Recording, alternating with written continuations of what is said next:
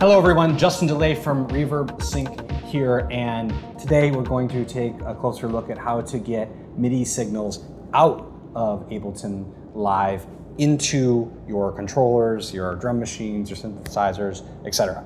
Uh, so in a previous video, we took a look at how to get MIDI signals into Ableton Live. So if you're interested in that, uh, definitely check out the previous video. But now we're going to take a look at syncing this up this way.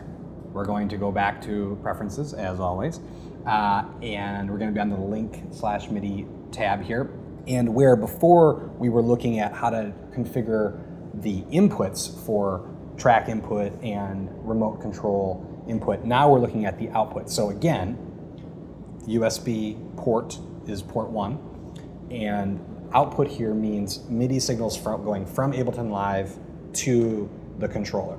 So what we're primarily concerned about here for the purposes of getting the clock synced up is we're gonna turn on sync, which is the middle button here, turn it on for output one, which is our USB uh, output.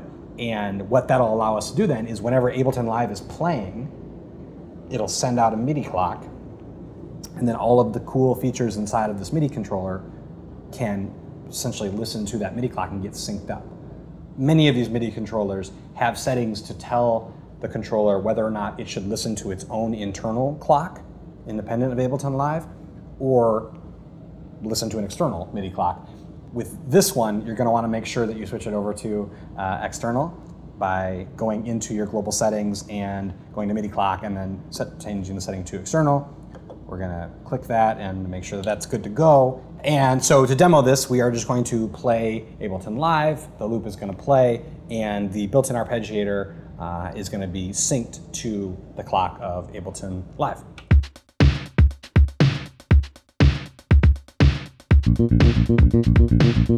Right, so like magic now, we've got a bass line that's synced up. Now, specific to this MIDI controller, uh, but something that you might be able to find in others as well, is that you can control the, the, the, time division of the arpeggiator so that right now we're in the 16th mode, maybe it's a little fast, we want to knock it down to 1 8 right? Pretty cool stuff, etc., etc. And you can jam for hours with this stuff all synced up. The sky is really the limit when it comes to sending MIDI out from Ableton, and it's really one of the most powerful ways to use the software.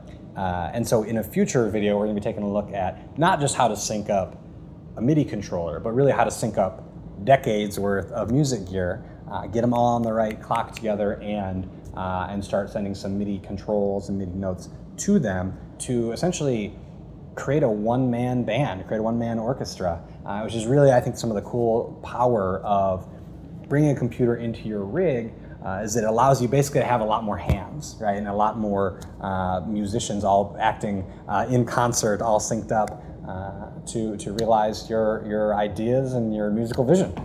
So that is uh, that's it for today. Again, I'm Justin DeLay from Reverb Sync. We took a look at Ableton Live, Uh, MIDI input, MIDI output, MIDI controllers, uh, and I hope you have fun. Thanks.